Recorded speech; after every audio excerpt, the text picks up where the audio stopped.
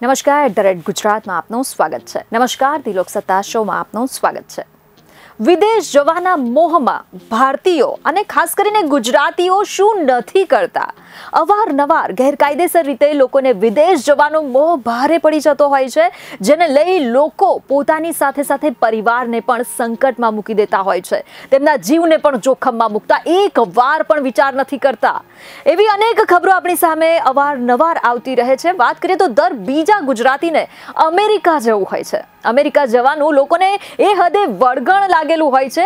તે દર્શક મિત્રો દર્શાવતા અનેક દ્રશ્યો આપણે જોઈ ચૂક્યા છે, આપણી સામે આવી ચૂક્યા છે. આવા જ કંઈક દ્રશ્યો ફરી એક વખત સામે આવ્યા છે, જેને જોઈને આ વખતે તો તમારા પગ નીચેથી જમીન ખસી જશે. જી હા, આપને જણાવી દે કે ગેરકાયદે અમેરિકા જવા નીકળેલ ગુજરાતીઓના કેવા હાલ થાય છે? તેનું વાસ્તવિક ચિત્ર એક પરિવારે સોશિયલ મીડિયા પર કર્યું છે શેર.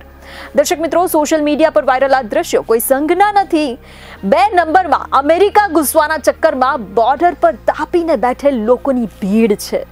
કહેવાય છે કે મોકો મળે એટલે અહીંથી અમેરિકામાં ઘૂસી જવું આ તેમનો હેતુ છે. દર્શક મિત્રો બોર્ડર પર ઉતારાયેલ આ જે વિડીયો છે તે સોશિયલ મીડિયા પર ઘણો વાયરલ થઈ રહ્યો છે મેક્સિકો બોર્ડર પર ગુજરાતી પરિવારોને કેવી દયનીય સ્થિતિમાં બાળકો સાથે રહેવાની ફરજ પડે છે અને ત્યાં તેમના કેવા કેવા હાલ થાય છે કેવી હાલાકી વેઠવાનો વારો આવે છે તે દ્રશ્યો અહીં સોશિયલ મીડિયા પર વાયરલ થયા આપણે જોઈ શકીએ છીએ વાત કરીએ સમગ્ર મામલે ડિટેલમાં તો અમેરિકા જવું એ દરેકનું મોટે ભાગે સપનું હોય છે કાયદેસર પ્રવેશ ન મળે તો ગેરકાયદેસર પ્રવેશનો રસ્તો લોકો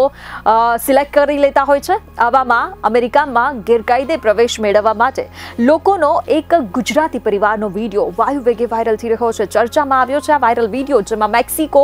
બોર્ડર દેખાય છે જ્યાં કેટલાક ગુજરાતીઓ અને અન્ય લોકો દયનીય સ્થિતિમાં રહેવા મજબૂર બન્યા છે અહીં કોઈ સંઘનો ઉતારો હોય તેવા દ્રશ્યો ચોક્કસથી જોવા મળી રહ્યા છે પરંતુ આ કોઈ સંઘના દ્રશ્યો નથી દર્શક મિત્રો જાણવા એવું મળી રહ્યું છે કે આ લોકો અમેરિકામાં ઘૂસણખોરી કરવા માટે રાહ જોઈને તાપીને બેઠા છે જ્યાં સુધી તક ન મળે ત્યાં સુધી આ લોકો અહીં આવી રીતે ખુલ્લામાં ડેરો નાખીને વસ્યા છે તેવું જાણવા મળી રહ્યું છે કહેવાય છે કે બે ત્રણ મહિનાના જોખમી પ્રવાસ બાદ મેક્સિકો બોર્ડર પર લોકો પહોંચતા હોય છે અને અહીં પહોંચ્યા બાદ પણ તેઓ જ્યાં સુધી બોર્ડરને ક્રોસ ન કરે ત્યાં સુધી તેઓ અમેરિકા પહોંચશે કે પછી નહીં તે વાતની કોઈ ગેરંટી નથી હોતી ખબર પર નજર કરીએ તેવું જાણવા મળી રહ્યું છે કે હાલ આ વિસ્તારમાં જોરદાર ઠંડી છે સાથે ક્યારેક વરસાદ પણ વરસે છે આવામાં આ લોકોને અહીં બોર્ડર પર જ રહેવું પડે છે તેઓને બોર્ડર પર રોકી દેવામાં આવ્યા છે આ વિડીયો જે છે સોશિયલ મીડિયા પર વાયરલ થઈ રહ્યો છે તે કોઈ ગુજરાતીએ ઉતાર્યો હોય તેવું જાણવા મળી રહ્યું છે જેમાં તેઓ એવી સલાહ આપી રહ્યા છે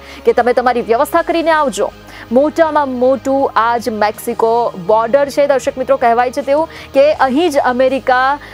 જે ગેરકાયદેસર રીતે ઘૂસણખોરી કરવામાં આવતી હોય છે તેનું આ એક મોટું સ્થળ છે જો કે આ વિડીયો કોણે ઉતાર્યો છે તે ચોક્કસથી હજી ખબર નથી પડી શકી તો દર્શક મિત્રો આવા કોઈ મોહમાં પોતાના કે પરિવારના જીવને જોખમમાં ન મૂકવો જોઈએ અવારનવાર ગુજરાતીઓ દ્વારા અમેરિકા જવાના મોહમાં પોતાના જીવને ગુમાવવાનો વારો આવતો હોય પોતાના સાથે પરિવારનો જીવ પણ તેઓ જોખમમાં મૂકતા હોય તેવી અનેક ઘટનાઓ અનેક ખબરો આપણી સામે આવી જ ચૂકી છે ત્યારે આના પરથી શીખ લેવાની ઘણી જરૂર છે બીજી અનેક ખબરો સાથે ફરી મળીશું ધન્યવાદ